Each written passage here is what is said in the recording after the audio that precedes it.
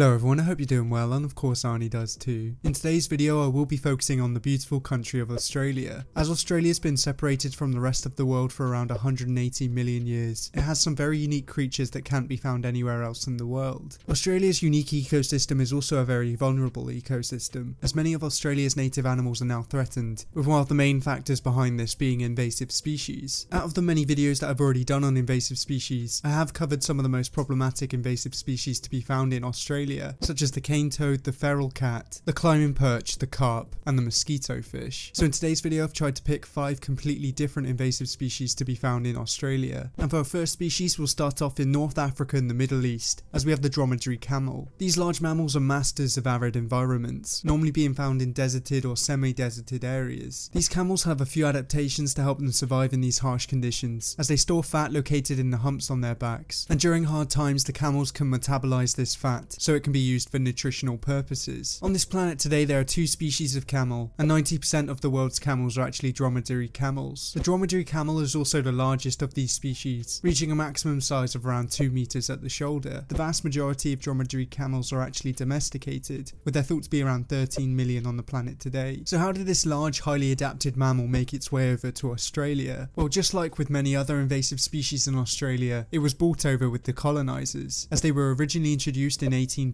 1940 from both British India and Afghanistan. These camels were to be used in transportation and construction, however these camels were released into the wild once motorised transport was available. This turned out to be a very costly mistake and the effects are still seen today. In 2008 they are thought to be around 1 million feral camels and this population had the capability of doubling every 8 to 10 years. In 2013 the number was brought down to around 600,000 because of large scale culling operations. Before the introduction of these camels the largest mammal in Australia was the red kangaroo, so it really was no surprise that these camels had a huge effect on the ecosystem. These camels were known to ingest more than 80% of the plant species available, some of which were threatened species. They are also known to compete with native plant-eating creatures, and have been known to foul waterholes, and in some of the more remote parts of Australia, this can have a huge knock-on effect to other animals. This feral camel population still remains a problem today, as the recent bushfires in Australia brought these camels into urbanised areas, as they damage buildings and infrastructure in their search for water. And even though it's not really their fault, these camels are a big problem invasive species. But for our next species, we'll be heading to the freshwaters of North America as we have the rainbow trout. Now when it comes to invasive fish in Australia, there really is a lot to choose from. But the rainbow trout isn't just one of the worst invasive fish in Australia, but it's one of the worst invasive fish in the world, as they're included in the list of the top 100 globally invasive species and have led to the endangerment and extinction of many other species of fish. In their native waters, adult rainbow trout are mostly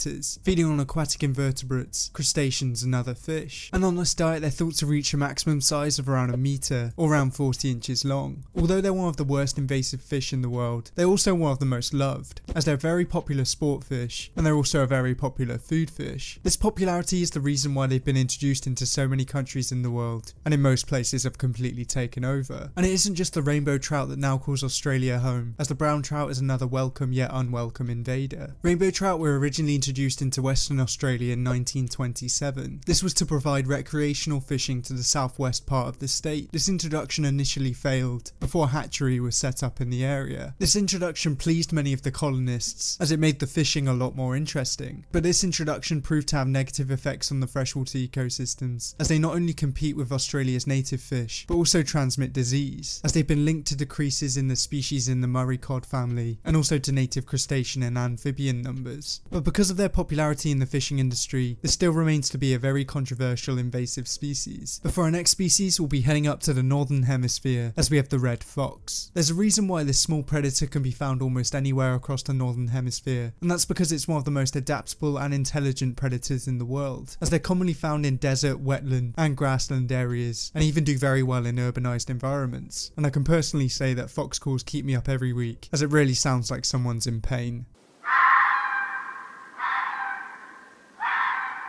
Red foxes will prey on almost anything that they can get their paws on. In the wild, this mainly consists of small mammals, birds, and fruit. But 18% of urban foxes' diet is made up of household leftovers, which just goes to show they can adapt to almost any environment. The red fox was first introduced into Australia in around 1855. This was for their use in recreational hunting, as their pelts were highly sought after and very colourful. As there are not many large native mammalian predators in Australia, it's no surprise that this highly adapted predator soon took over and caused massive damages to the ecosystem. Many native ground nesting birds suffered, as well as land nesting reptiles such as the green turtles. But it wasn't just the native animals that suffered, as there was a significant economic loss due to farmers losing their livestock. In 2012, it was estimated that there were more than 7.2 million red foxes in Australia, and this number could yet increase. So this small adaptive predator has proven to be one of the worst invasive species in Australia. But for our next species, we'll be heading to the freshwaters of Eurasia, as we have the smooth newt. Now this species is normally found in relatively small water sources, normally around woodland areas. Surprisingly enough, this species can also be found in my back garden, and I filmed a few of them that I found last year. Throughout their life cycle, they live two completely different lives, one in water and one out of the water. As smooth newts live on land most of the year, and even hibernate under logs or in burrows. As soon as spring comes around, they enter the water, where it becomes time to breed. While they're on land, they tend to eat insects, caterpillars, worms, and slugs, but in the water, they switch to crustaceans, mollusks,